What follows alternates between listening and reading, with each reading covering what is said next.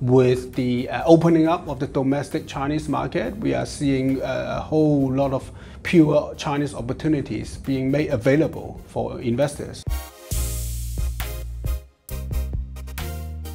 Well, for, for this particular fund or particular strategy, we are focusing on the, uh, the, the, domestic-oriented Chinese companies uh, who, whose shares are listed in Shanghai, Shenzhen, and Hong Kong, and a small part of them in the US ADR space, and they're becoming more available and accessible to institutional investors uh, globally.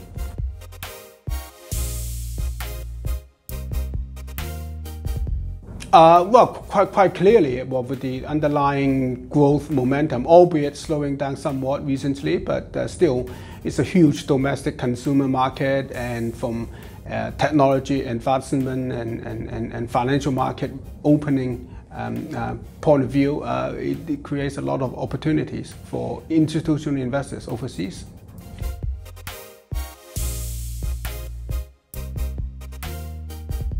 Well, from a thematic point of view, the domestic Chinese consumer is uh, attractive. Um, um, uh, uh, in, in, in, in the old days, as I said, um, when, we, when, we, when we only looked at the Hong Kong market, it has now become so small and limited. Uh, now that the whole domestic consumer market is uh, being made available, so that, that creates a lot of opportunities. Uh, innovation in terms of technology, a lot of Chinese tech companies no, uh, many of them are no strangers to uh, global investors anyway. Uh, the, the, the, the, shares are becoming uh, accessible. Uh, we're actually looking at um, traditional business, uh, for example, retail, banking, and, and so on, um, that are increasingly using information technology to revamp the business models to create new franchise value and therefore making their shares even more attractive to investors.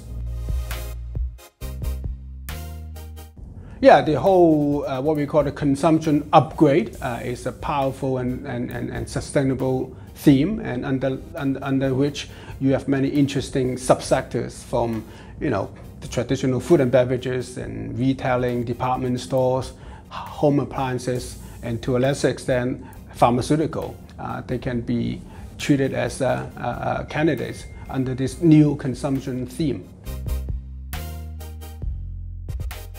Well, our resources, uh, uh, I'm proud to say that we probably have one of the, the largest uh, China-focused research teams um, in the market.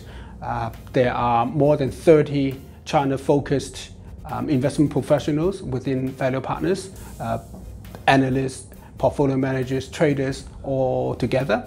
Uh, amongst the 30 plus of us, seven of them uh, sit in our Shanghai office focusing on the domestic A-share space, whereas the, the 20 plus uh, are, are in Hong Kong.